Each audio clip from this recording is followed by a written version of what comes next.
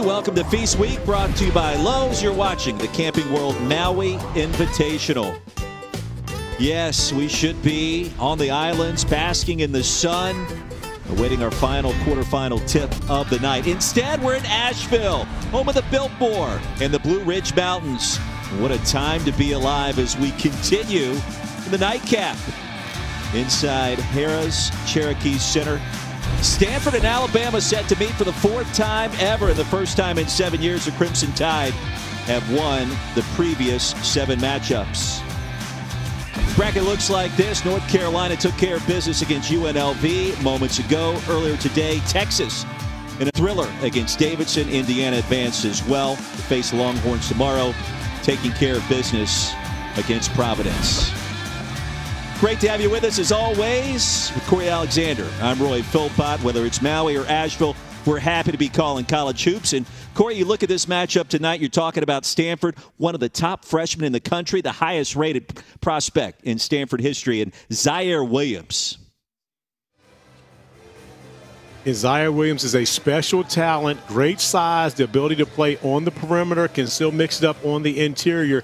But as you mentioned, the highest rated Uh, recruit ever at Stanford, the number eight player in the country, according to ESPN, Paul Biancardi in our group. And Ziaire is a program changer. I'm not sure how long he'll be at Stanford, but for the time he is at Stanford, he opens things up to Jerod Haase going out and getting other elite level players. Important for him to be successful. But you see, Jerod Haase talked about the most talented guy he's seen, and he's coached at UNC, he's coached at Kansas. That's very high praise for the freshman Ziaire Williams. And his debut coming right here and right now. Year number five for Jerod Haase. Great friends with Roy Williams.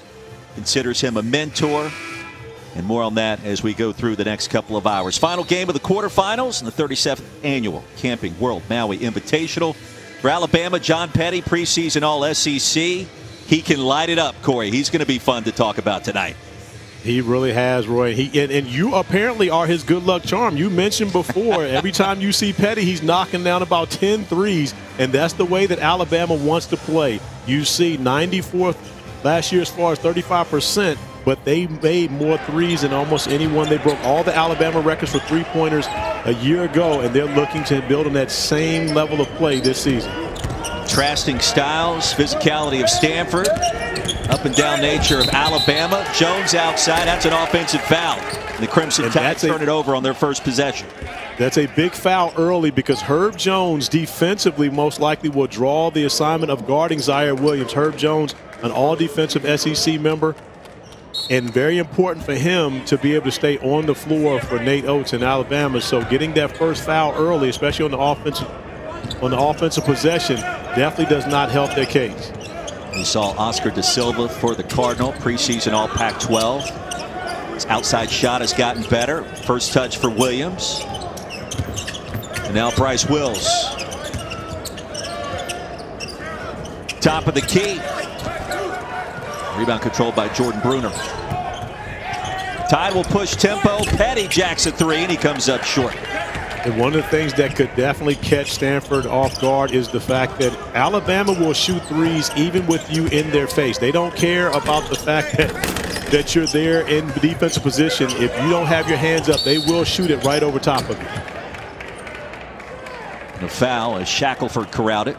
Nate Oats, second season. Great run at Buffalo. And the Crimson Tide picked fourth in the SEC. And in fact, both of these programs picked fourth in their respective conferences. Crimson Tide 16 and 15 in his first campaign in Tuscaloosa last year. Stanford probably going to the tournament before the season was cut short with 20 wins. Back Aaron. And here come the Cardinal, still in search of our first points.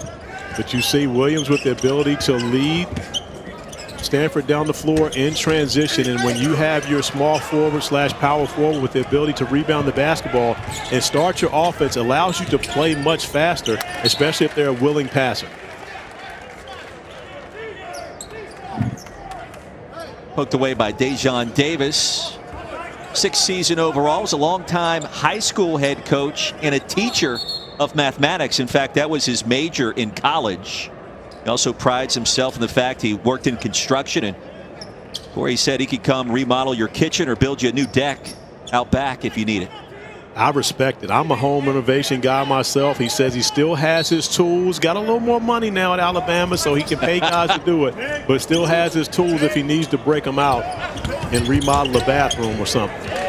Quinerly turned it over, the Villanova transfer. Was two minutes in, still no points for either side. Understandable for Stanford considering that their opener was canceled. So they have yet to play a game. This is their opener. We see early the touch from beyond the arc, knocking down the three. Pretty smooth. Ziaire Williams, a five-star prospect. First shot is good. Stanford strikes first. Shackelford off the bounce, and he'll shoot a pair. So now the challenge for Ziaire Williams, playing college basketball as we get an opportunity to look at Jerod Haase in his fifth season now as the head coach at Stanford. We talked about him at assistant coach to Roy Williams at University of North Carolina and at Kansas where he played for Roy at Kansas, a three-year starter and actually won a Maui Invitational while he was a player at Kansas. I believe 1997, but talking about Williams, one of the things for him, offensively, he's going to be fine. But he's playing the small forward position. In college basketball, oftentimes that means he's going to be guarding a smaller, quicker guy, and that could get him in foul trouble. He's got to be very cognizant of playing defense and staying out of foul trouble, staying on the floor. That was his first personal, speaking of the freshman. And he steps out of bounds on the other end. That was one of the things we saw a year ago when the three-point line actually moved back. We saw many stepping back on the, especially in the corner, stepping back on the out-of-bounds line, trying to get that corner three as Quinerly steps up and knocks down a three. And that's one of the areas where he's improved a lot during the year that he had to sit out from his transfer from Villanova to Alabama was his ability to shoot the three. Always more of a playmaker, but you see now being able to stretch the floor with the ability to knock it down from beyond the arc. Crimson Tide have a couple of key transfer players. Tell you more about them when we come back. Five to three. Alabama out in front of Stanford. We're back in 30. The transfer from Villanova, Jahvon Quinerly, poured in 18 points in his season opening win against Jacksonville State. Good start tonight as well, Corey. It is, in big shoes for Quinerly to fill. Kira Lewis drafted number 13 by the New Orleans Pelicans, and who was the point guard last year, running ball and Oats, and now Quinerly takes over that position. But you see, Quinerly was a, a McDonald's All-American a couple years ago. Went to Villanova, things didn't work out for him found a home in Alabama, but it's not just Quinerly. You've got so many guys transferring in who fit into what Nate Oats wants to do, especially offensively at Alabama. And he gives them tremendous freedom, especially if you can shoot the three. Petty inside to Jones, puts it in, seven to three. Herb Jones, one of those Swiss Army knife type of guys who can do it all. He can score, but he's even better as a defender and playmaker and worked on his three-point shooting a lot over the summer as well. Williams had a look, instead dishes it out. And on the wing, the three ball is good. That'll make it seven to six. That was one thing Jerod Haase talked to us about this week. Williams is selfless and is not afraid to give it up, no matter what the situation may be. And one of the things that you're going to hear a lot about him, and which is so important, especially as we see a nice move on the block, but you're going to hear so much about how much of a high character person Williams is. Spencer Jones off the steal. Rebound by Petty. Cardinal back in front as Quinerly will pull it out.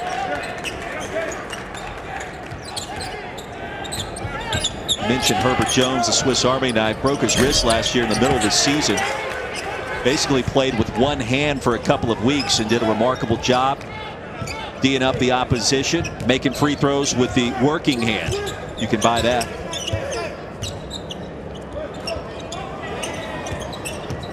You see Jones getting that assignment.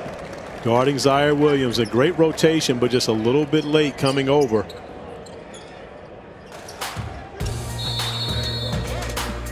Timeout on the floor. Cardinal lead it by one. ESPN's exclusive presentation of college basketball is brought to you by Camping World, America's number one retailer since 1966. The Maui Visitors and Convention Bureau, hashtag Visit Maui. And Tommy Bahama. Shop for your team gear at TommyBahama.com.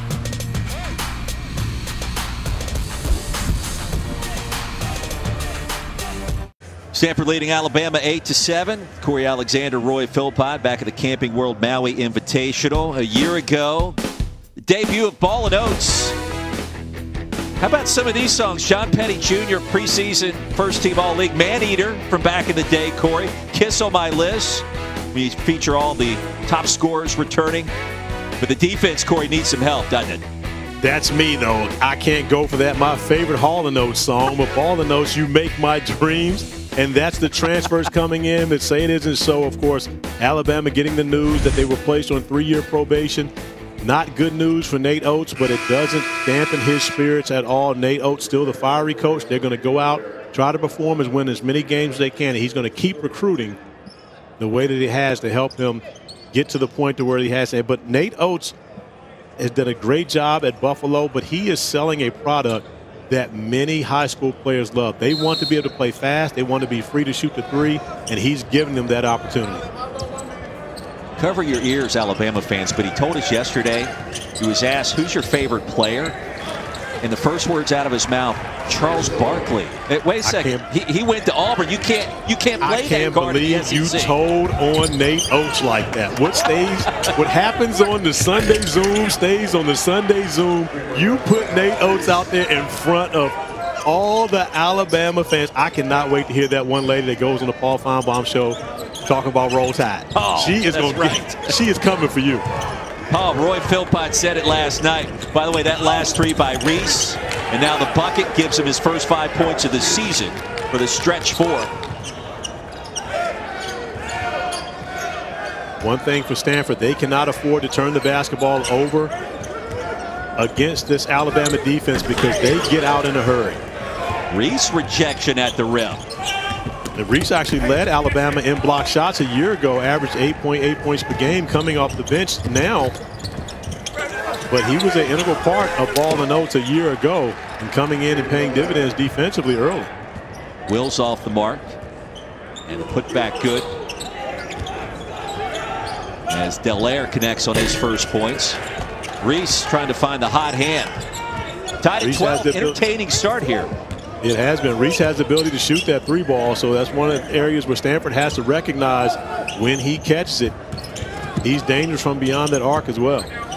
Williams already with one three, give him two. Neither one really grazed the rim. It was all net both times. Hey, great minds think alike. That's one thing I was thinking. Seeing Ziaire Williams, two three-pointers go in, all net. And that's a great sign for a shooter. That means you're locked in at the center of the rim, knocking those shots down with confidence. Rojas off the mark. The rebound corralled by Stanford. Here come the Cardinal. John Davis, more the point guard this year after Ty Terry was drafted. Off the glass, kicks it in nicely. And Davis actually was the primary ball handler before Terry got there, so he's really going back to his natural position. But Terry, a draft pick by the Dallas Mavericks, Shackelford all net from the corner. Really looking forward to seeing Shackelford in this tournament. Had a great freshman season for Alabama. Averaged 15 points per game a year ago. And looking for bigger things as a sophomore. But the freshman getting himself in great shooting position. The form is beautiful and especially when it touches nothing but net. Great pass by Reese, the left-handed rat pass to find Shackelford in the corner, knocking down the three ball. Tyler three for eight from downtown. Stanford three for four, including two by number three. Ziaire Williams. Here's Herb Jones with an aggressive finish.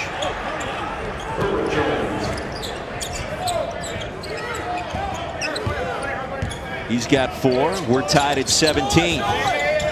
It's one thing you watch Alabama play, Corey, given the quick nature of their offense and a lot of three balls. There's going to be a lot of runs. Bama will go on a 10-0 run. Stanford will come right back. I'm okay with that because we got scoring and we got Reese shooting the trail three with confidence. And Alabama scored over 90 points four times a year ago. So this team wants to get up and down. They want to play with pace. One of the top teams in the country playing with pace, the faster pace. Average only 15.2 seconds per possession. And so Nate Oats, of course, wants to be able to pick that up this season. But it's going to be tough to do when you don't have Kira Lewis, who is a jet, getting the ball from point A to point B. Oscar da Silva from downtown. He's worked on that outside shot. Jerod Haase telling us yesterday he's going to be a lot to deal with when that outside jumper starts falling, and it is in the early going tonight. Reese out of control, but a blocking foul call.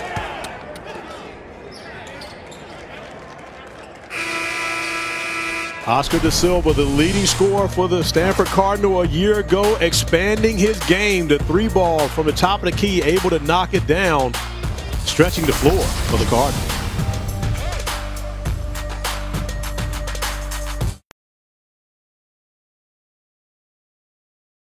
Spirit of the game lives on. Are you serious? It's time to go to work.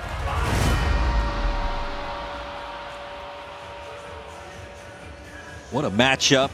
In fact, two of them we have headed your way tomorrow with the Blue Bloods on display, Corey Alexander. Just you look at uh, how their records have fared in the Champions Classic. I'm curious to see what Kentucky can do after what happened yesterday, but we'll see. Well, Kentucky, once again, is very young. But one of the things that John Calipari is used to having is a couple of veterans to go in with all those young players and he doesn't have those guys. Olivier Sarr, who transferred in from Wake Forest, played for our guy Danny Manning. Olivier Sarr, this is his first year at Kentucky. He's a veteran, but he hasn't played for Calipari before. You look at Devin Askew, Terrence Clark, BJ Boston. Those guys have not played for Calipari, and also they lost to a veteran Richmond team. Give Chris Mooney and Richmond a lot of credit for coming in with a great game plan, but also the experience really paid dividends at Kentucky.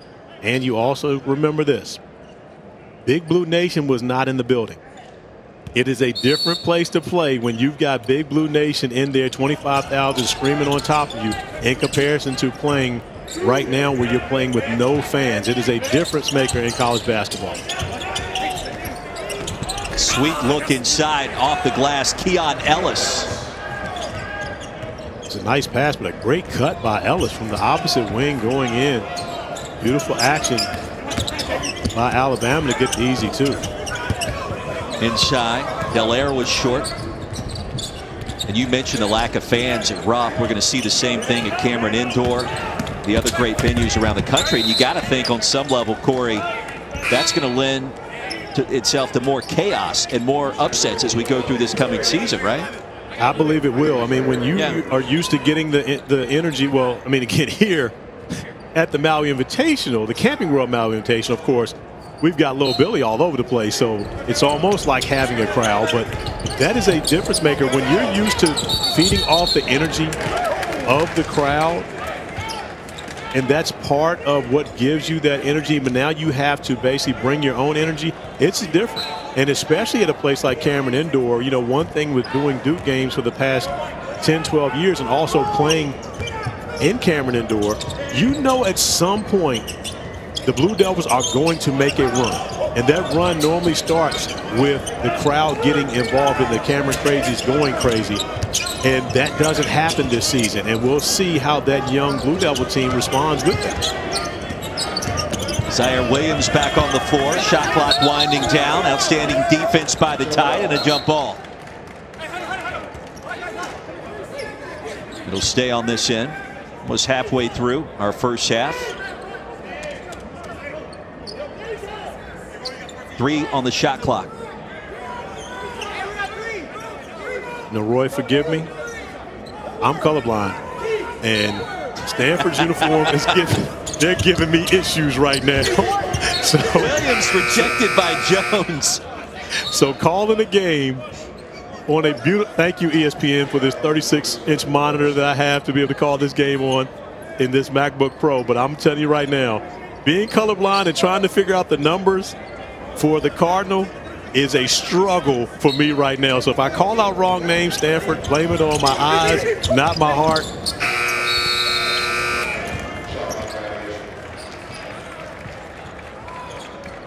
Williams with one second on the clock had that shot rejected out of bounds. He did all he could do there. But I'm with you. Had to do a triple take at it as soon as the game tipped off, seeing those jerseys for the first time. Jones like turns it ask, over. As for understanding from many of our college basketball fans that watch us on or listen to us on television, watching their favorite teams play, it's also different for us. We're fortunate to be able to do this, but it is different calling games, you know, from your office, your home office, your studios, and being able to see all the action going on. So please bear with us. We're doing the best we can and enjoying it. Keefe at the stripe after the foul by Keon Ellis. That's almost like a disclaimer that uh, I really appreciate you putting out there as a play-by-play nerd. Yeah, well, I really wasn't talking about you. It was more so about when I mess up. Which was a, a, consistent theme in our first game tonight. I, am learning more about you. hey, the great Terrell Owens said it best. I love me some me. I love the fact that you own it so well, too. That, oh, that makes yeah. I mean, better. again, it, the problem is those who deny it. See, you can't talk about yourself a lot and then deny it. See, when you know it, then that means that you actually understand what's going on. Here's Jones down the left side, off the glass and count it. A nifty move. A tough take, and one of the things that Stanford's got to realize is Herb Jones is left-handed. So he's gotten to his left a number of times. If they're able to finish, they're going to have to force him to his offhand going right. Stanford back to work, tied at 21. And a foul on the perimeter. Quinerly, the transfer from Villanova. You asked Nate Oats an interesting question yesterday about Quinerly. And the, the basis of the question was, is he more substance than style now? And I, I guess it sounds like that he's starting to turn the corner to become more of the kind of player that he can be based off of what he was in Philly. Well, Nate Oats says that he's gotten much closer to substance now than he was. He's not still, he's not all the way there yet, but Jahvon Quinerly, of course, is one of the innovators of the Jelly Fam. And if you don't know about the Jelly Fam, look it up. It's all over the internet, social media craze, but it's simply about layups, aka finger rolls at the rim that had a tremendous amount of style to it. And so it was a huge thing. Everyone, you know, in the younger generations running to the rim yelling jelly. But that does not translate very well to college basketball, especially in the eyes of coaches. And so Jahvon Quinerly, I believe a lot of his struggle at Villanova had to do with the fact that that wasn't okay with Jay Wright. He had to be more about substance than he was style. He had the opportunity to sit out last year, watch Kira Lewis at the point guard position, recognizing how he needed to play for Nate Oats. And I believe he got a lot of that out of his system and had a great opening game, 18 points for him, shooting the basketball very well. And I believe he will be really good in this system playing for Coach Oats. But Coach Oats had an opportunity to sit him down, talk to him about just that. And I believe he got his point across. On the bench currently with two personals. Tied with possession. Bruner will trigger. Check that Jones on the pass.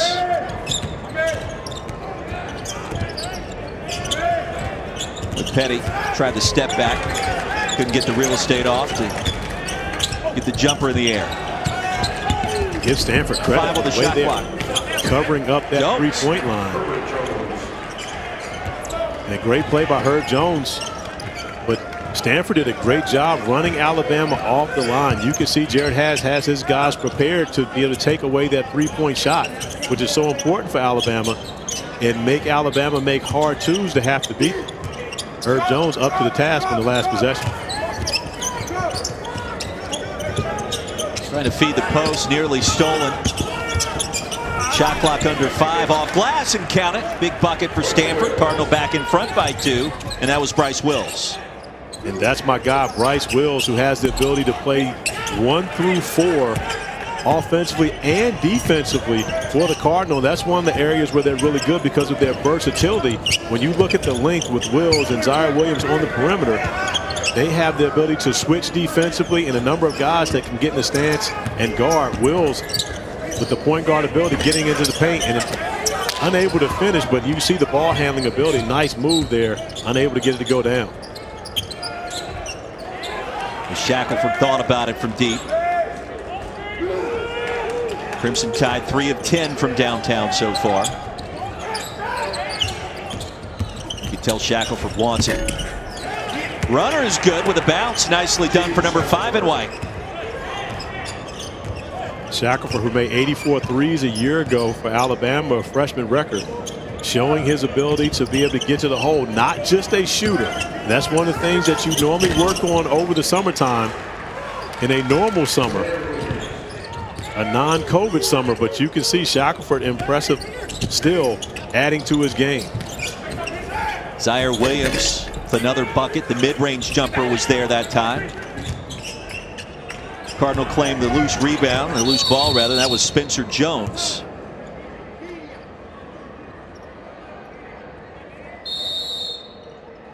A good start for the freshman Ziaire Williams. Highest rated signee in Stanford history. Herb Jones as well. Both players with eights. And we've got a good one brewing. The nightcap, the quarters, the Maui Invitational.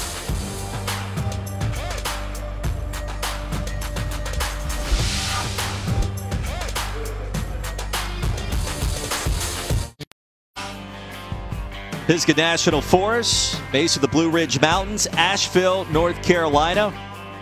Beautiful hiking, wonderful trails, streams, and a great time of year as the leaves have already changed colors. Beautiful part of the country, and happy to be here for the Camping World Maui Invitational. Asheville. Great downtown area, vibrant, breweries, all kinds of things to do. And this part of the world. Corey Alexander, Roy Philpott. Good game here already for our nightcap the quarters.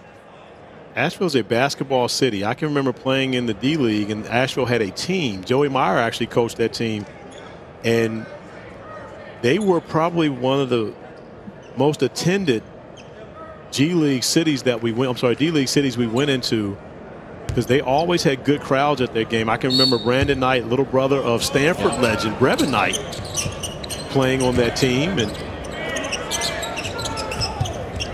but Asheville always showed up big time for those games. And you know, in the D League back then, you played each other eight times, so that's four games in Asheville. You got to know those fans pretty well. Yeah, the old Asheville Civic Center, which is now called the Harrah's Cherokee Center. Jump ball there is da Silva with an aggressive move. He was tied up. Rojas met him right there in the painted area. Winner of this game will get North Carolina tomorrow. Tar Heels handled UNLV after trailing 13 to nothing right out of the gate. Led by seven at halftime, rolled in the second half. Roy Williams emptied his bench. da Silva left open top of the key. Petty the board. Well, da Silva's shown us that he can make that three now. Averaged over 15 points per game to lead Stanford a year ago and expanding his game. Preseason All Pac-12 performer. This Stanford team has a chance to be really good. You know, in year five for Coach Haase, I believe he has his pieces in place now. Plus, you add the could be a superstar at Ziaire Williams. They've definitely got a chance to make some noise. Laird thought about it. They also have a five-star signee in Harrison Ingram. So, Corey, it's the first time in Stanford history back-to-back -back classes that featured five-star prospects.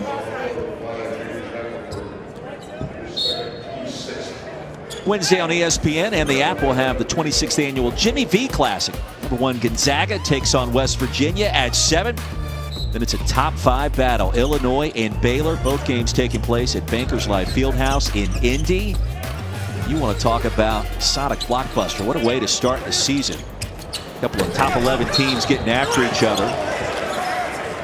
Tell you about starting the season. Jalen Suggs. Special. Point guard for Gonzaga right now, off to a great start, great college start so far. And I'm sorry, Zag fans, but you only get one year. I'm telling you right now. So make the best of it. And I'm not sure if you know, Jalen was a high school quarterback.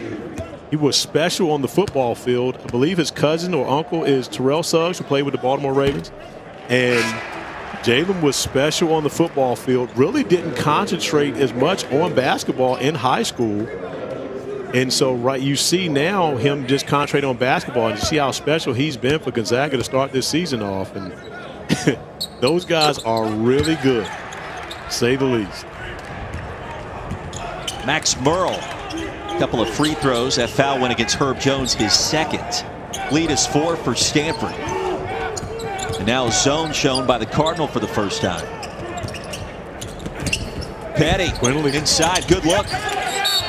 Quinerly back in the game with those two fouls right now. Nate Oats recognizing that his team's struggling on the offensive end of the floor, getting his floor general back in the game, trusting him to play in foul trouble. Well, you mentioned those 18 points he scored against Jacksonville State. That came on his birthday, no less. Thought it the best birthday he's had.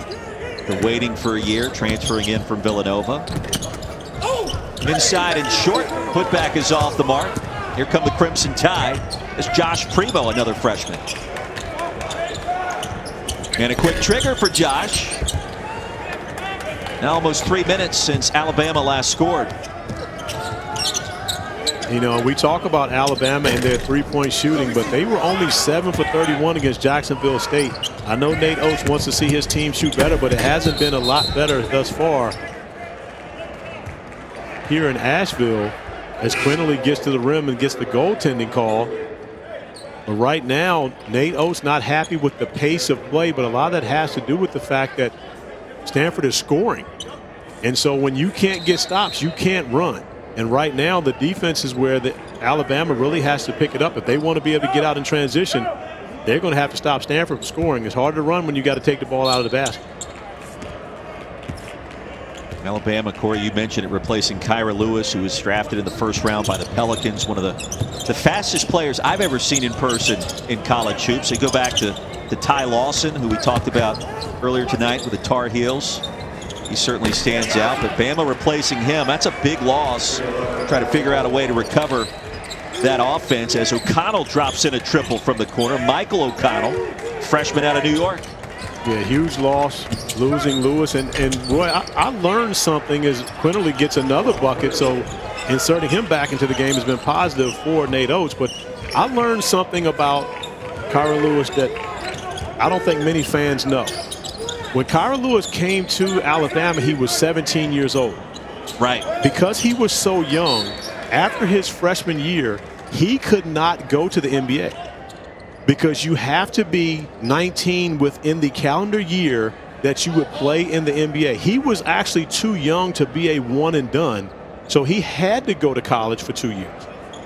And I'm sure most basketball fans don't know that. I had no idea that that was actually a rule, but you have to turn 19 within that calendar year.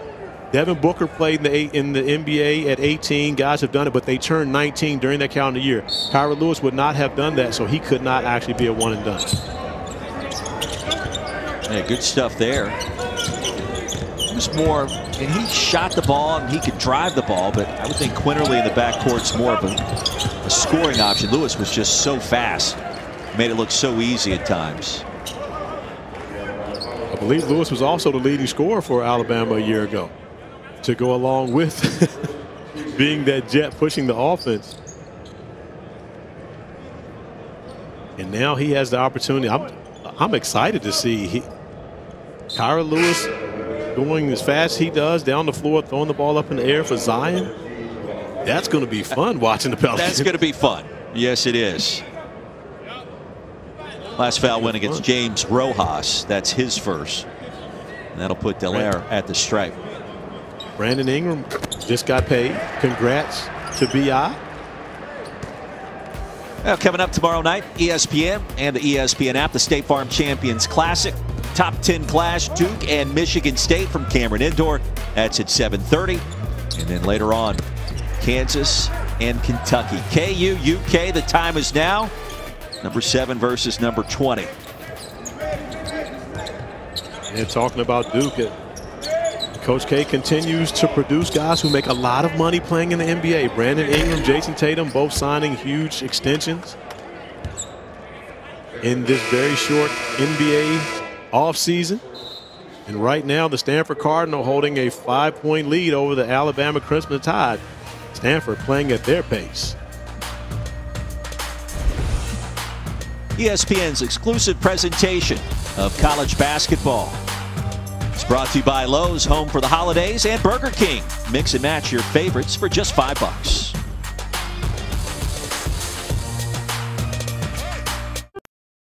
Kevin Connors, Danny Manning, Sean Farnham. E-Trade halftime report is on the way. We'll show you how North Carolina rallied from 13 down to blow out UNLV.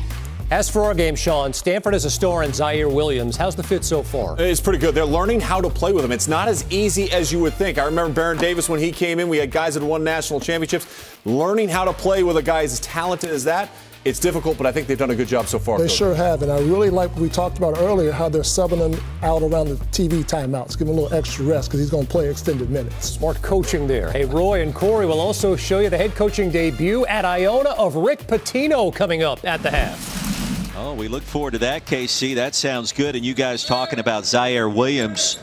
12 minutes so far, eight points, a couple of threes, and he has looked silky smooth so far as the five-star signee living up to expectations. Still early, and Corey, I'm I'm curious. Your debut at Virginia, Ooh, were you nervous? Oh. oh, very nervous, and not very good. Ziaire Williams has scored double the points that I did in my debut. I only have four points in my first two games. Oh my! At, at Virginia, but I tell you where my breakout game was. We played Georgetown in the ACC Big Ten, ACC Big East Challenge, I had 16 points against Alonzo Mourning and those guys. Hit a big three in overtime to win. Then came back and had to play against Latrell Sprewell, Robert Horry, James Hollywood Robinson, with Wimp Sanderson on the south sidelines at Alabama. We didn't win that game, but I played well. No. oh, wow. What a great story that is. Big you know, shot, Bob. When you, when you look back, and recognize that Alabama is the second winningest basketball program in SEC history. And you have to go back and think about what Wimp Sanderson was able to do and the talent that they had. I mean, Jason Caffey was on that team who won rings with the Chicago Bulls. Roy Rogers, who was my teammate with the Denver Nuggets, I mean, they were loaded. And then right after that, Antonio McDyess is coming in. I mean, Alabama was stacked with talent back in those days. Largest lead for Stanford at eight. Ziaire Williams, a perfect three for three from bonus land. Now attacking. And a fresh 20. Stanford will set up the offense. Williams with 11 points, looking sharp. Five rebounds and three dimes already. Inside and another bucket, an easy one. It's a small. Thing.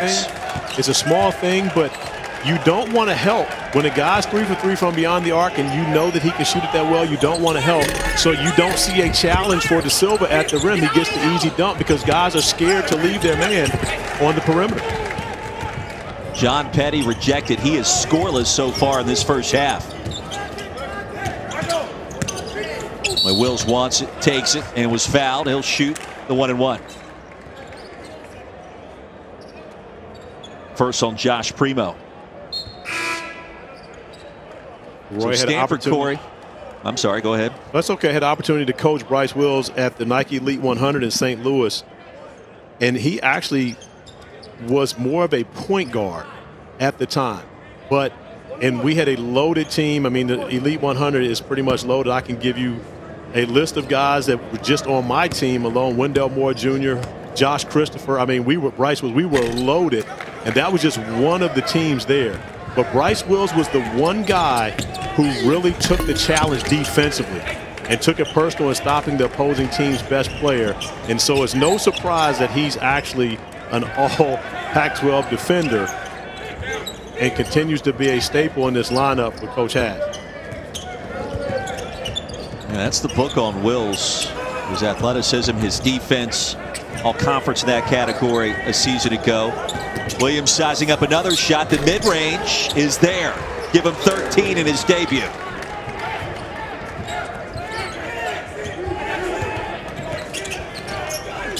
Nine nothing run for Stanford. Reese can't connect. Shackelford fell down. Back to the Cardinal. Well, we talked about Bryce Wills and his ability to defend, and you see great size going up and getting that on the glass. Other end of the floor, it's Ziaire Williams knocking down his 12th and 13th points on the evening. And for the Cardinal fans, recognize you have a star in the midst. Stanford in control, leading by 12.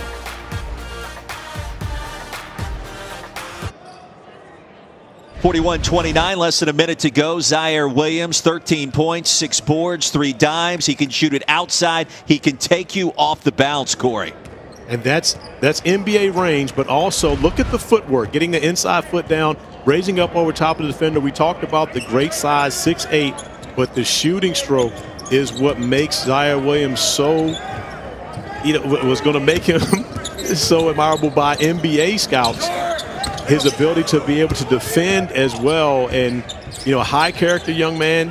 He is putting on a show right now in his debut. And again, I ask the Cardinal faithful to enjoy these next few months because I believe this is all you will see Ziaire Williams in a Stanford uniform. Three pointer off the mark. Shot clock is off. Williams controls. Here comes Stanford. An impressive opener for the Cardinals so far and perhaps putting the rest of the Pac 12 on notice and the rest of this Maui Invitational as well.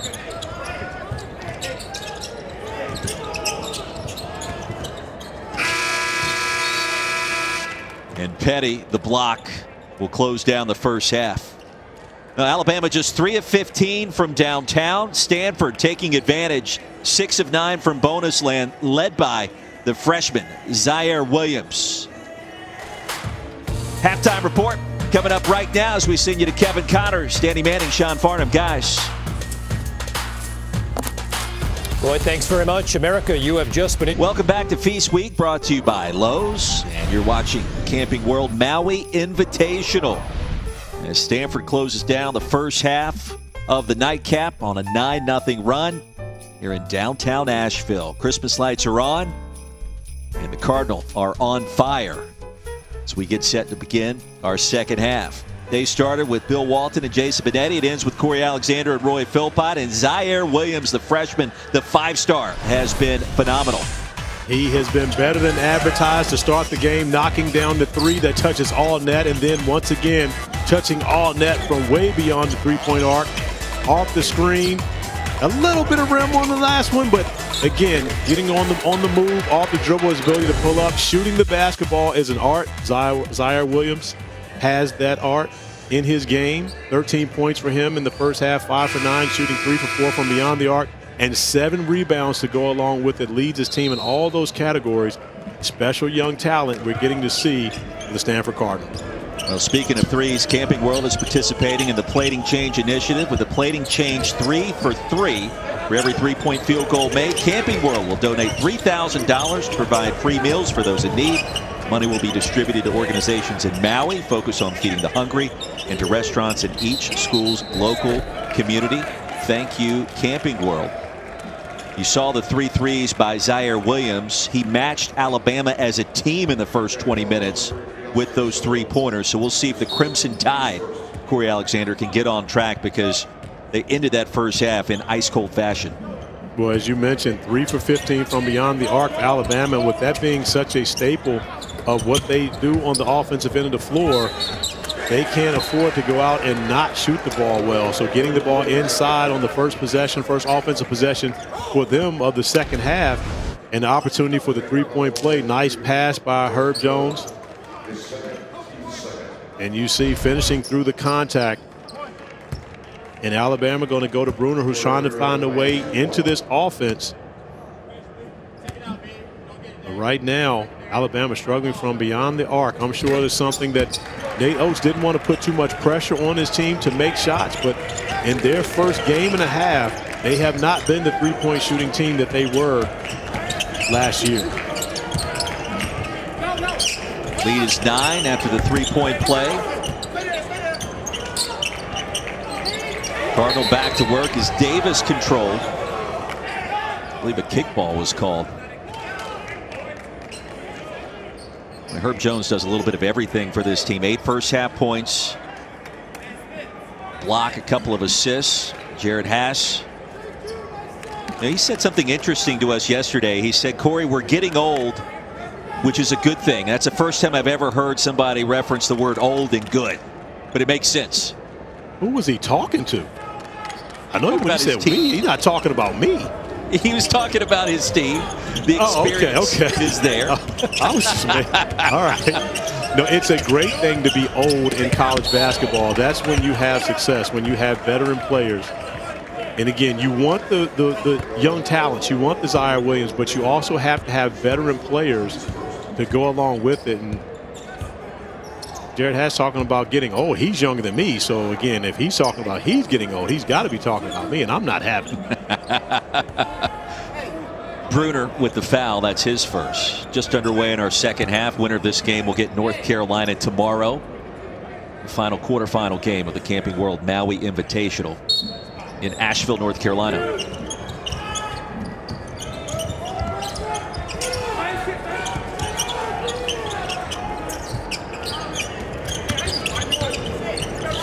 Williams, the step back. A rare miss. Tap to Jones. Big possession now for Alabama. Shackelford. High off the glass and off the mark. da Silva controls. Well, Cardinal will push the pace. Jerod Haase told us yesterday we're going to be faster and play faster than we have in recent years. And you saw that there with Davis. So we go back to Alabama's first bucket, Corey. Well, Alabama wants to try to find a way to get easier baskets, and you see on the perimeter the lane is empty. There's no one there. And so you get the ball into the hands of one of your better playmakers, which happens to be really your foreman, Herb Jones. And by doing so, he gets the ball inside to Bruner, who's able to finish through the contact and put three points on the board in the first offensive possession for Alabama. But with the threes not falling, Nate Oats trying to go to different looks to try to find a way to put points on the board. But it's going to be defensively where Alabama's going to have to climb back into this game. Can they stop Stanford is going to be important. One of two for Davis at the line. And what do you do for John Petty to try to get his stroke going? Because he is still scoreless. He had 14 in the season opening win against Jacksonville State. Preseason All SEC, and he has been held in check so far. Well, you know, to Stanford's credit, they respect the shooter. So when you respect the shooter, you don't leave John Petty and give him opportunities to get easy looks. It means that someone else is going to be able to play without getting help on the defensive end of the floor because Petty's man will not leave.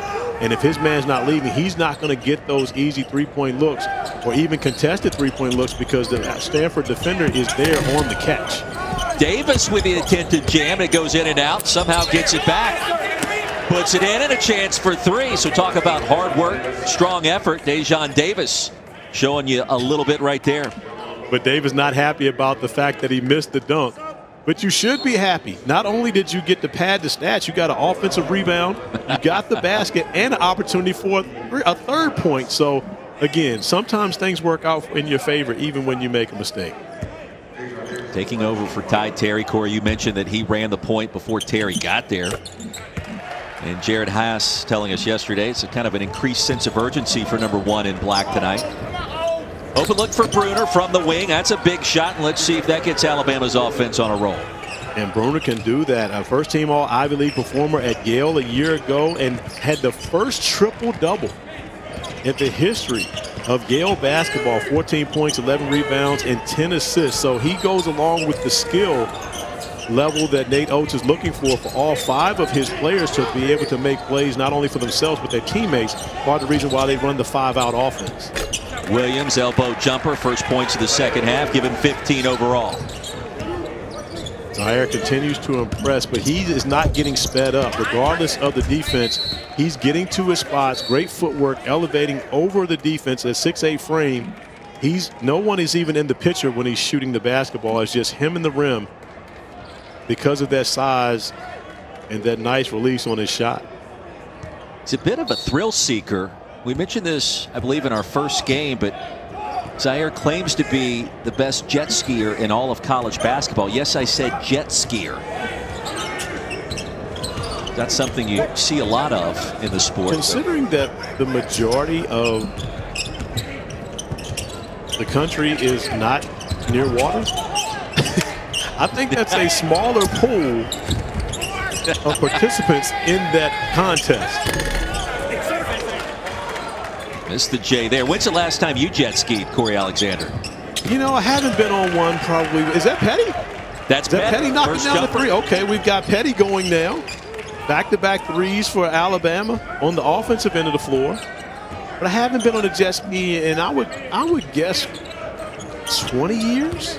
Used to be my while. thing back in the day, Okay. but um, not as much of a thrill seeker as I used to be in my younger day. Davis hit the deck hard after Petty's three and Ziaire Williams 15 points in his debut. There he is on the jet ski. Look at that. Pretty confident, too. Well, I tell you what, if he can drive that jet ski with his feet, then he is the best jet skier in the country. Oh, graduation. Come on. Showing up at graduation on the jet ski, or was that just flexing in his cap and gown? The answer is yes. Many of these young people, especially the class of 2020, were robbed of actually being able to have a traditional graduation. So thinking of creative ways, and I like the creativity by Ziaire. Cardinal back to work, leading by nine. It's a 9 0 run at the end of the first half to create separation between these two. Here's da Silva, first team all Pac 12 off the mark. Petty taps it to himself. Here come the tie.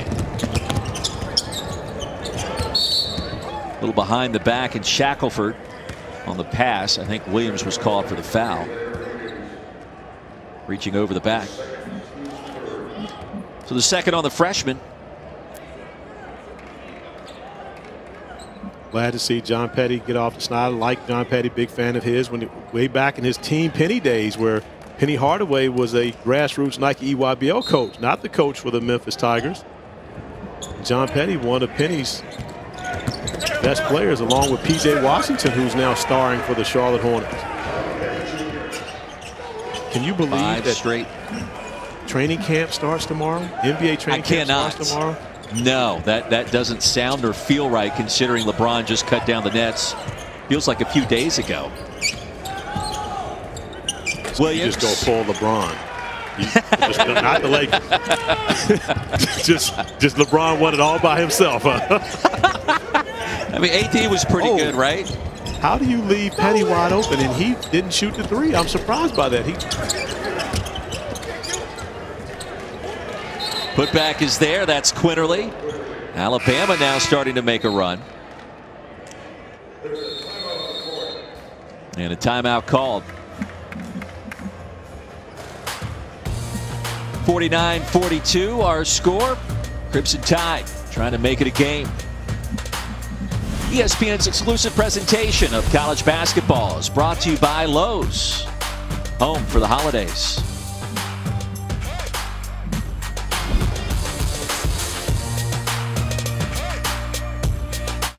What a time to be alive to visit your next Camping World location, the large American flag out front, and America's largest RV dealer. Locations around the country, your one stop shop for everything RV and outdoors. That there, Corey, is a recreational vehicle. You know you want one, and you reminded us that you needed one back in our game earlier tonight. well, well, hold on, Roy. So I'm in Statesville. You're in Greenville. We need, I need a, a RV and two tents for myself. I need an RV for Monty Williams, and I need a tent and an RV for Rasheed Wallace. So, where is our local camping world? Because I'm sure they're going to comp this for us. Where do we go pick these up?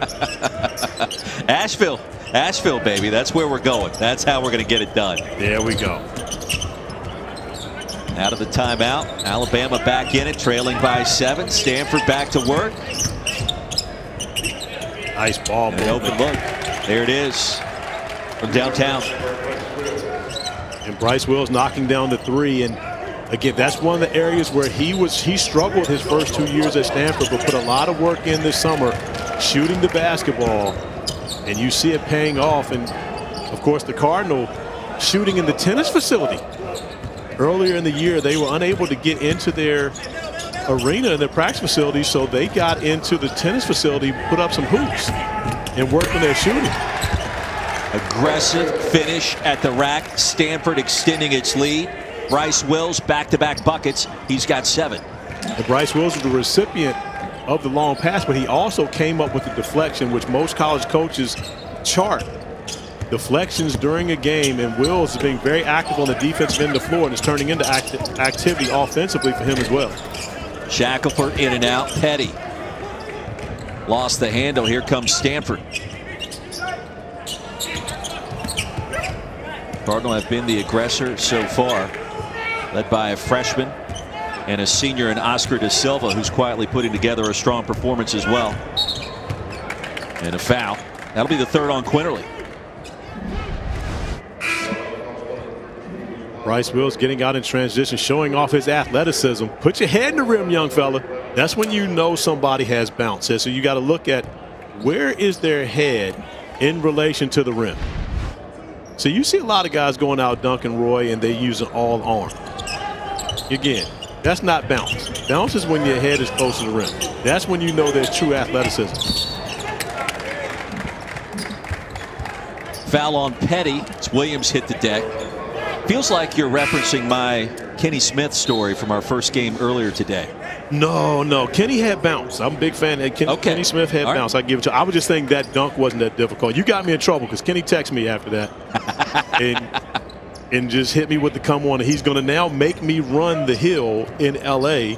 the next Thank time you. we get to go back to the Nike Basketball Academy. Who knows when that is. But now I got to run the hill, and you got me in trouble for bringing that up.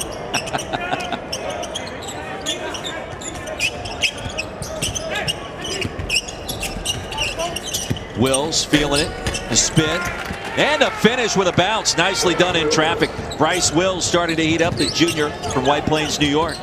And if he becomes a double figure scorer for the Cardinals, that makes them even more dangerous because he's going to be on the court because of his ability to defend.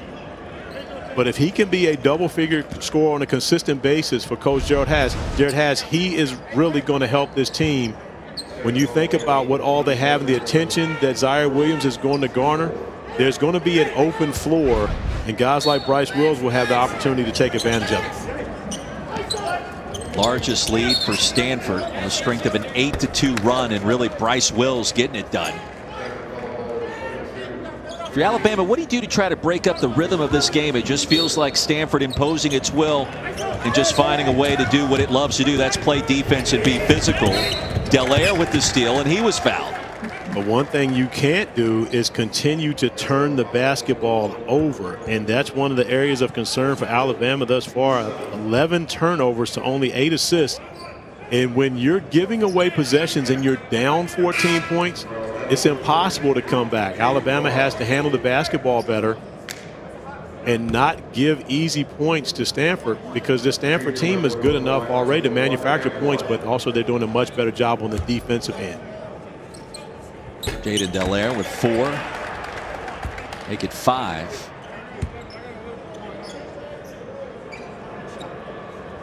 Played in 31 games a season ago with one start. They expect him to play more on the perimeter this campaign. Rebound by Rojas. Alabama in search of offense, and this would be the guy to do it with the ball right now. On cue. And it's been that kind of night for John Petty. But the difference with that shot, it was John Petty having to make an individual move and create a three-pointer in comparison to his teammates being able to create one for him. He's a much better catch-and-shoot guy than he is going off the bounce. John Petty, who made 85 three-pointers last year, shot 44% from three-point range, leading the SEC. But a lot of that had to do with the fact that he had a guy like Kira Lewis who was creating shots for him. Off the carom. Bucket good by James Keefe. Lead is 17.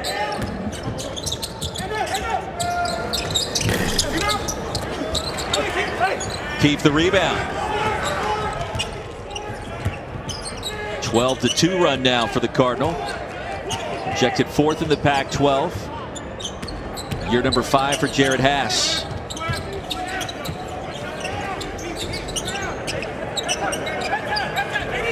Where you mentioned earlier their season opener against Utah Valley last week was postponed, and Jerod Haase admitted yesterday, not sure what we have. We haven't had live scrimmages with referees. It's kind of the great unknown, but this performance with a freshman leading the way Awfully impressive. It'll give the rest of this field a lot to think about if the score holds up. These next two days. absolutely will. Bryce Wills getting his his junior year off to a good start, knocking down the three, and then getting out in transition, putting his head in the rim as the Cardinal are in control.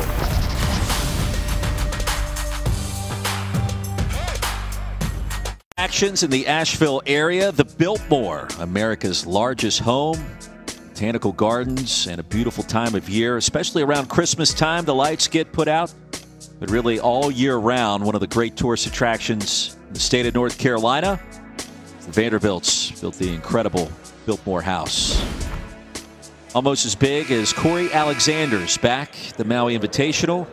And great to have you with us tonight. 59 42 our score, the Camping World Maui Invitational. Stanford out in front of Alabama. I'm Roy Philpott. For the debut of Ziaire Williams, it has gone really well for the highest rated signee in Stanford history. On the bench currently, 17 points, lethal from three. And I think the one thing, Corey, I would say about him, too, he hasn't forced the action tonight. Game has come to him, not forcing up shots or trying to make incredible passes. He has been under control. You're absolutely correct. And, you know, you have to think about the fact that he played on a loaded high school team last year. BJ Boston, who's starring at Kentucky right now on his team, Bronny James, you know, so, so many stars, and it was loaded. So the, the, the lights aren't too bright for Ziaire Williams he's been in this situation before. Even though this is his first college game, this is not the biggest game that he's played in. And so for him, you know, it's just kind of like going out playing another basketball game. He hasn't been sped up. He hasn't been too high, doesn't get too low, just understands how to play basketball and what his strengths are and plays to his strengths, not his weaknesses. Shackelford hit the three off the turnover. The Crimson Tide give it right back. Stanford capitalizes, and that's Bryce Wills again. Now, see, up 14 at that point, I would have expected a windmill from Bryce. Okay, you get out, no one's chasing you. I understand. I mean, Stanford is a, a conservative group. I'll give them that. They're a little more conservative, but when you get out there, it, you gotta you gotta get out there and give me a windmill right there and see great job defensively stepping in. I would love to tell you who that was, but I have no idea whose number that is. Jaiden Delaire. Thank you. Tried to step and in. so and so with that stepping in and that, well, maybe his foot was on the restricted arc, but it looked, looked like a charge. I was too busy trying to figure out who it was in comparison to where his feet were. Again, blame it on my eyes. Maintain possession, and we'll do that. Approaching the halfway point of the second half. Bruner attacking. Nice pass. Getting caught in no man's land. Quinerly can't finish. Rojas comes up with a steal for Bama. And a blocking foul, no bucket. And Roy, if you would have told me that Stanford had the same amount of turnovers as Alabama, I wouldn't have believed you. But it's actually both teams have 12 turnovers. It seems as though Alabama's turnovers have been much more glaring and turned into fast break points on the other end of the floor for the Cardinal.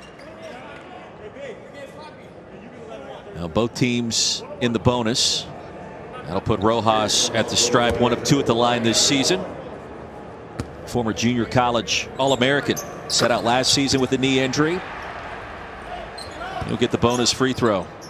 It was interesting. Nate Oats said yesterday he's actually one of our five best players. Just the rotation against Jacksonville State in the opener probably prevented him from being more active. He scored eight points, grabbed seven boards. So I'm curious to see the rest of his season looks like. One of the problems when you have with that is who do you take off the floor to get them on the court? Yeah. that, that's the thing. There's only 40 minutes to be played. Five guys, there's 200 minutes to go around. And so when you look at it, you know, we know how important Herb Jones is to this team. We know how important John Petty and Shackelford are. You need Quinerly at the point guard position. And so Bruner, with the experience, we talked about a first team All Ivy League performer, grad transfer coming over. Who do you take off the floor to get more minutes? And that's always going to be the challenge for most coaches, especially when the talent difference is not that big. One thing for certain for Stanford, he knows Ziaire Williams is going to be on the floor because they don't have another guy like that. But for Al Alabama, many of their guys are similar. And so, therefore, it makes it difficult to know when to play who in what spot. The second foul on Spencer Jones as Bruner goes to the stripe. He's perfect there and just one attempt tonight.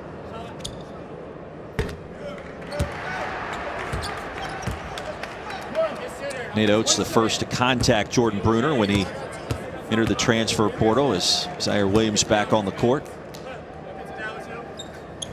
Graduate from Yale, you're doing something right, and Bruner's certainly going to add something to this Alabama team. Tide have their work cut out for him trailing big.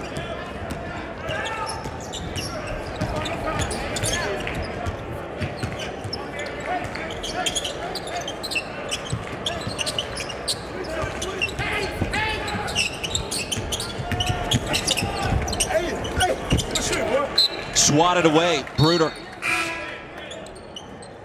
And Bruner fortunate to get back, gambled on the play, got beat, but did a great job recovering back and coming up with the block shot. That's the type of defensive effort that Nate Oats wants to see from his team. Unfortunately, he hasn't seen much of it for the first 30 minutes.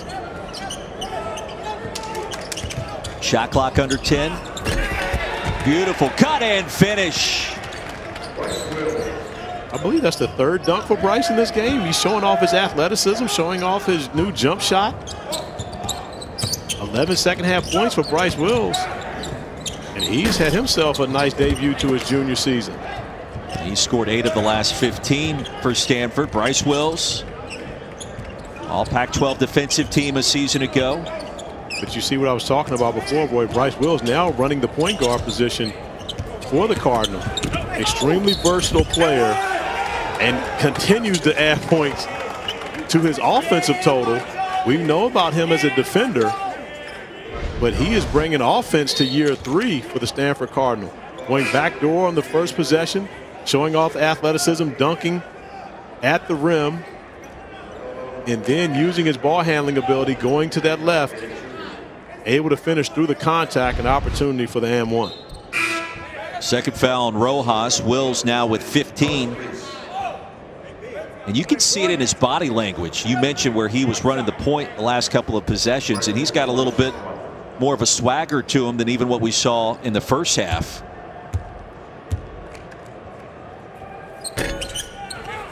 Short on the free throw. Shackelford the rebound. Lead is 19. We've talked about John Petty's struggles, but Shackelford hasn't. I mean, he's scored 10 points in this game, but three for 10 from the field, two for four from beyond the three point arc. And again, this is a young man that Alabama is going to rely on heavily throughout this season. Averaged 15 points a game as a freshman. Right now, Shackelford looking a little banged up. That's his third foul as well. You know, one positive for college coaches that have, has come from this pandemic? With them wearing masks on the sideline, you cannot read their lips. You can only imagine what is being said to some of these players at times. but you will never know because you can't read their lips with the mask on. da Silva, the stick back. An all Pac-12 performer living up to the billing early on. Their season opener. He's got 11 points, seven boards tonight. And over the back, a foul call. We were talking about it earlier, maybe even at halftime, where Corey, you posed the question, or I posed it to you in the first half. No big crowds at Rupp and Cameron Indoor this year. That could negate the home court advantage at some of these venues, but also for the officials. You wonder, will we see as many charge calls without the crowd there to implore them on at times? And not that that is something that's a significant factor, but look, we're all human. And the well, lack of crowds and atmospheres could could impact veteran officiating crews on occasion, maybe. You're absolutely correct, and the calls will still be there because the plays will be there for the for the officials to have to make the call. But what you will lose is the level of emphasis that you see on each one every one of those calls. With a big crowd going, if you have a, a young man come in and for a monster slam, but there's someone stepping in the way, and they get their feet on the on the restricted area circle and there's a posterizing dunk, do you have the emphatic block call? Or do you have the emphatic charge call going the other way because there is no crowd there to influence the officials. I'm not Well- going to say the crowd influences their decisions, but it does influence their level of emphasis. Is it Teddy Valentine or someone else? Well, his initials are TV. I mean, you know, I mean, again, you know, Teddy was built for this. He was built for TV. And apparently so is Ziaire Williams. There's Teddy Valentine. Who'll send it to Stanford. and Another Spencer is- Jones inbounds it. Another one of the struggles is the fact that you don't have a bench to be able to really talk and bond and have the conversations on the bench that you normally would in a college basketball atmosphere. You know, right now you have the benches separate. You have at least six feet social distancing from each player's chair, from the coaches, etc.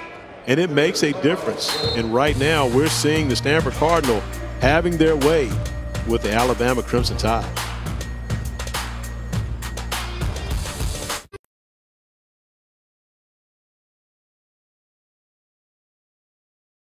Well, tonight's play of the game, driven by Continental Tires, actually plays, if you want to look at it that way. If a little Bryce Wills is good, Corey Moore is better. Bryce Wills having a spectacular season opener to his junior year, getting out in transition multiple times, showing off his bounce at the rim. More importantly, knocking down jump shots and getting to the cup, showing off a full offensive arsenal.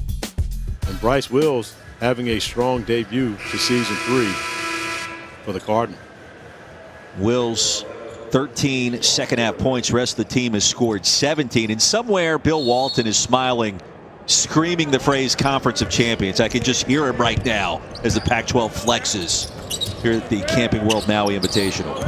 Well, we'll hear tomorrow when Bill Walton is calling what looks to be Jerod Haase going up against his mentor, Roy Williams, in the second semifinal game where Stanford will take on North Carolina tomorrow. Bill Walton and Blue Ridge Ranger, a.k.a. Jason Benetti, will be on that call.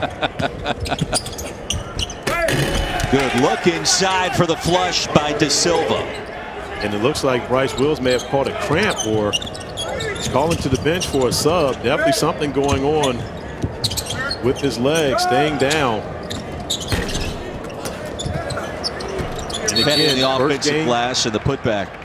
yeah, first game of the season for the Stanford Cardinal, not knowing what to expect. But right now, Bryce Wills, we've talked so much about playing so well, asking for a sub and immediately going to the bench to get some attention to that right leg. Well, you mentioned Jerod Haase and his relationship with Roy Williams. I mean, he went in depth about that relationship yesterday with us. He said he's unbelievable. This is Jerod talking about Roy. We have a bond that will last forever, and just don't hear that spoken a lot, even between two great friends. But he considers Roy Williams a mentor, a friend, and he said he means more to me than I can even put into words right now.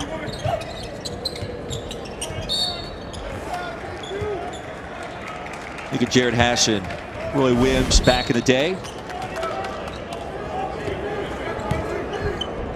I can remember seeing Jerod on many of the recruiting trails, still see him on the recruiting trails at Stanford, but more so when he was at North Carolina as an assistant for Roy. And very appreciative. And Jerod was one of those guys as a player that I'm sure Roy Williams knew would be a coach.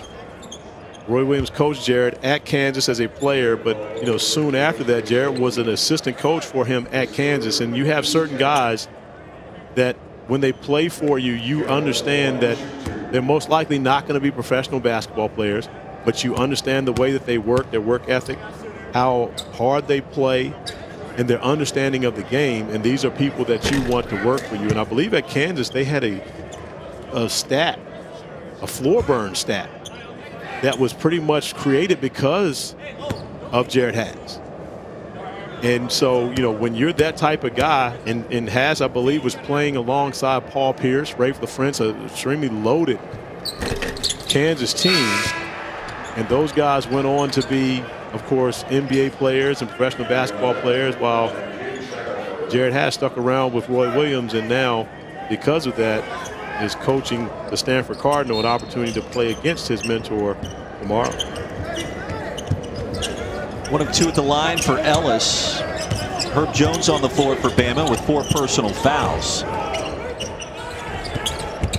Lead is 20. Off the pump fake, the easy finish inside for the Cardinal. So Merle the hoop, his second.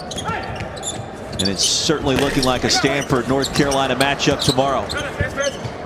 And at this point, we've already seen Wills go out. It seems though he's getting some attention to that right calf, most likely a cramp. With a 24 point lead, do you start to rest your guys knowing that you have a game in less than 24 hours against a team that wants to get up and down the floor? Do you use these remaining five, you know, five minutes plus to save some of the energy of your players, or do you trust your second group enough to be able to maintain this 24 point lead and ensure that you get the win? Well, I want to get Williams more experience because you told me earlier he's only got a couple of months in Palo Alto before he goes to the NBA. So I want to see more of number three. And he's got 19 points, eight boards, and three assists so far tonight in 26 minutes. Chance for three now for Bama. I want to see more of that guy. He, he's a lot of fun to watch, and he is a cool customer. Well, you want to see more of it as a fan. That's and as correct. a play-by-play, play-by-play analyst, you get to talk about him. But if you're coaching him and you recognize what level of energy he's going to have to exert in less than 24 hours playing against the Tar Heels, it becomes a point to where you say, okay, young fella, you've had enough for the night, and see Bryce Wills back into the game.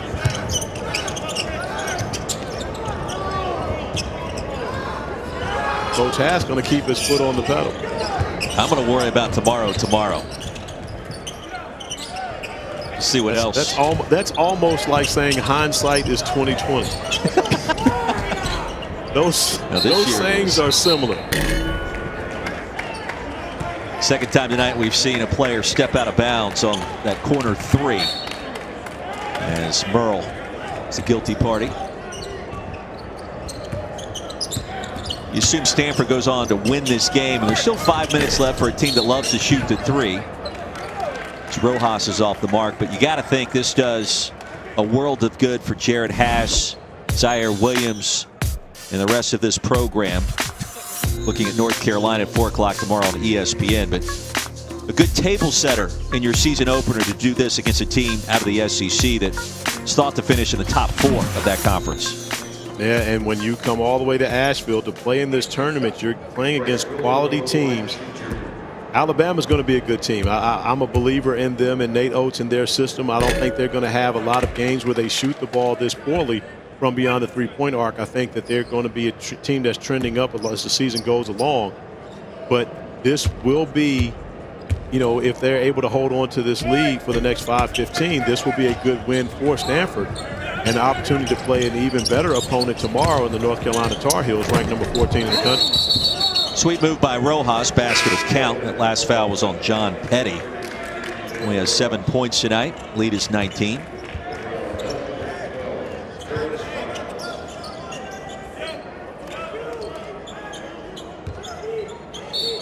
Now full court pressure. Extended by Nate Oats and company.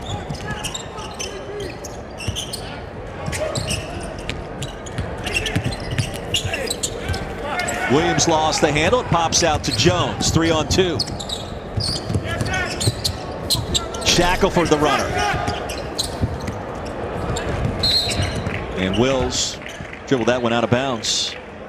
Now coming up tomorrow, the exclusive reveal. Brand new college football playoff rankings. Top 25. Rece Davis and company will break it all down for you top to bottom. 7 o'clock Eastern. ESPN. Also streaming live on the app. All presented by Capital One. And a timeout on the floor as we step aside to the Camping World Maui Invitational. 450 to play.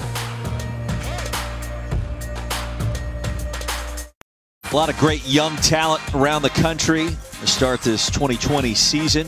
Ziaire Williams right now projected. It's a lottery pick in the top five. BJ Boston, Kentucky.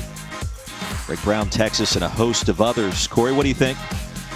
Well, I'm fortunate to know most of these guys, and what's going to be interesting this year, and it's a different year because you see Cade Cunningham at number one, Jalen Green at two, Evan Mobley at three, Jonathan Kuminga at four. So Cade Cunningham and Evan Mobley both came to college, while Jalen Green and Jonathan Kuminga both chose the D League route.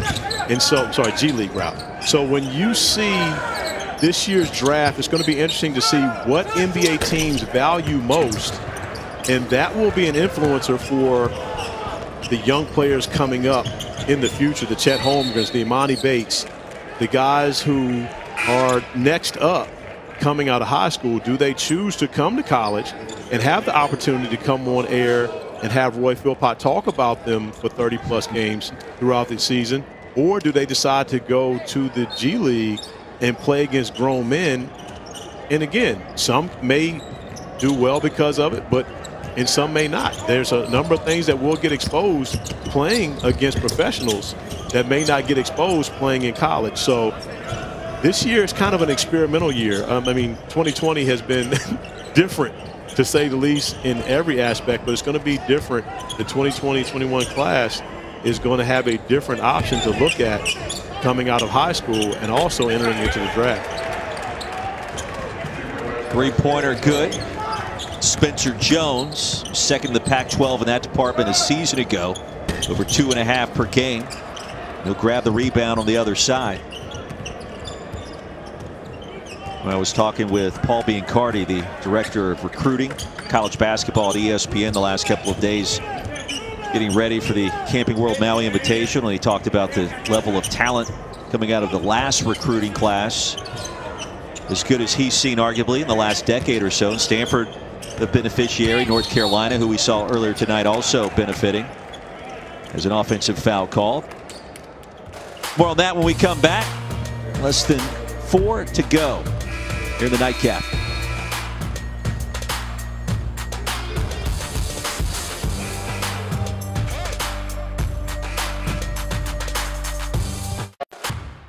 ESPN's exclusive presentation of college basketball is brought to you by Camping World, America's number one retailer since 1966. And by Wicked Weed Brewing, drink different. And Asheville, North Carolina. Visit exploreasheville.com. Pay, plan your mountain getaway.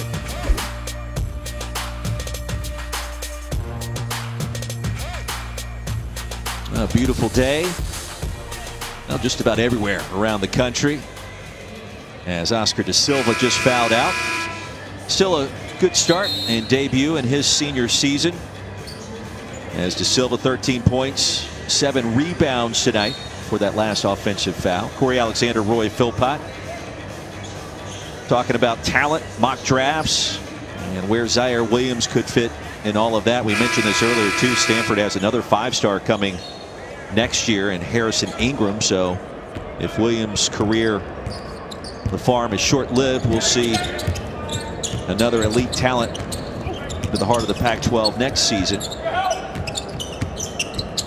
You mentioned it being a beautiful day out most of, all, throughout most of the country. Have you been outside today? I have. It was crisp, clear, sunny. Oh, good for you. I haven't been outside since Saturday. I'll be completely honest. I was on Zoom with Bill Walton all day yesterday and preparing for games and everything going on today. I haven't been outside, so maybe I'll step out tomorrow. I hope so. Maybe go to my mailbox. That's, that's probably not a bad idea. We were all in Walton's world yesterday on eight Zoom calls as Darius Miles pours in a three from the wing, and you saw Ziaire Williams ex exit the court. So it looks like his night is done under three to play. I'd say it's a pretty good debut for the five-star, Corey.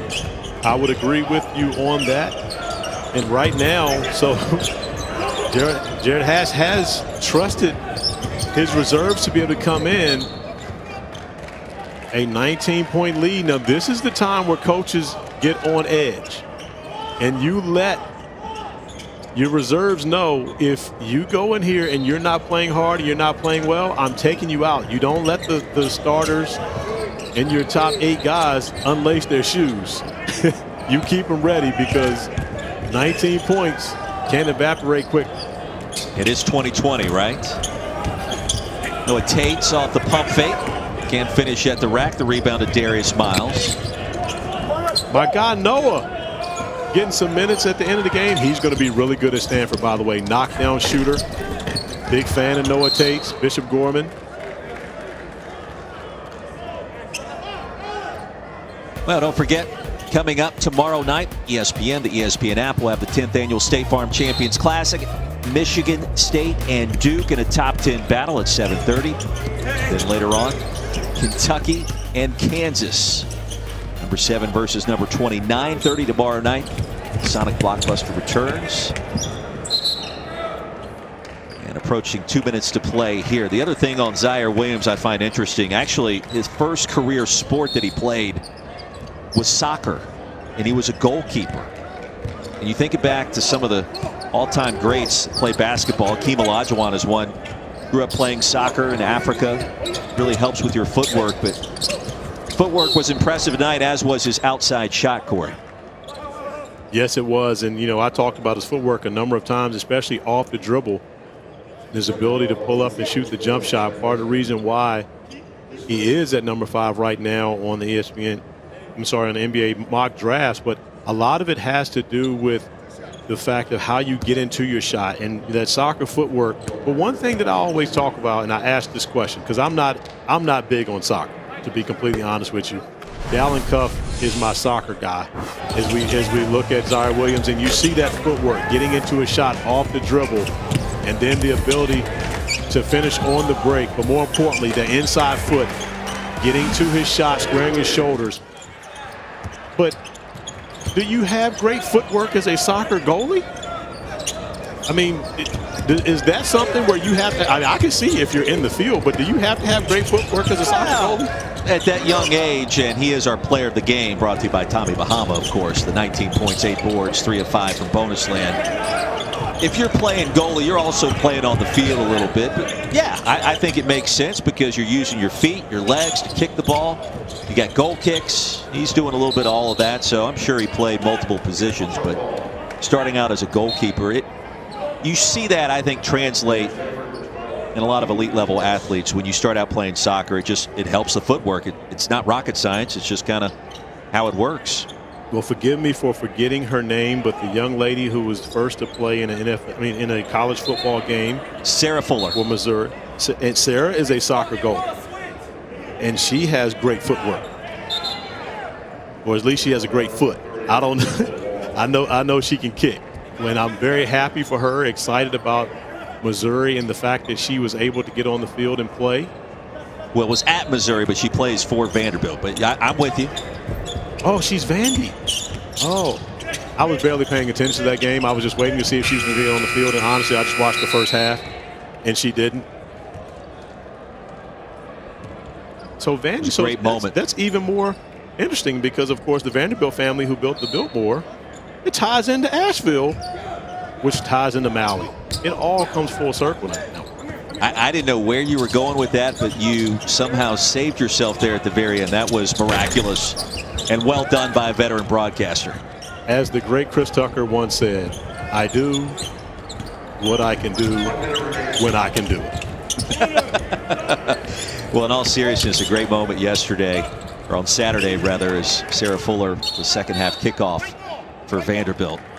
And uh, it was something I talked with my two daughters about. They were excited and a very cool thing to see and a, a nice step forward in many ways. Less than a minute to go.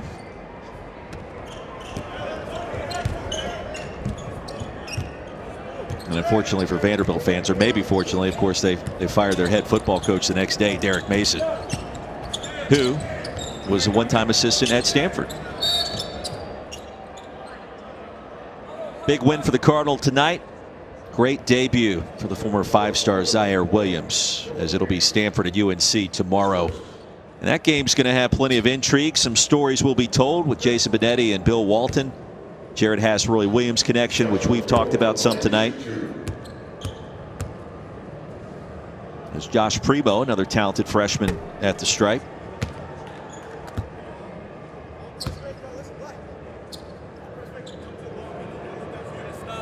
Coach Haase said something interesting to us this week as well and getting ready for this game and talking about quarantine.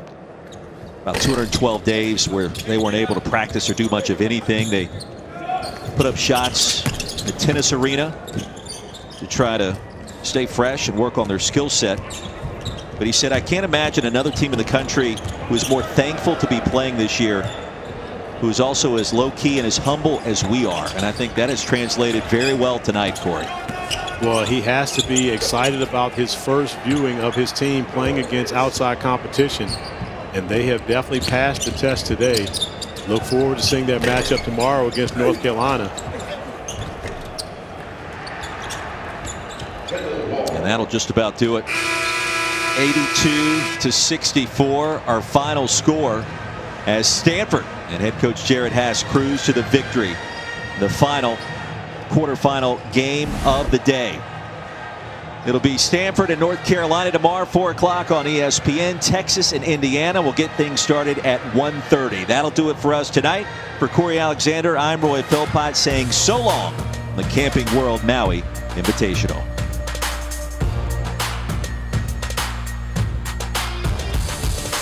Warning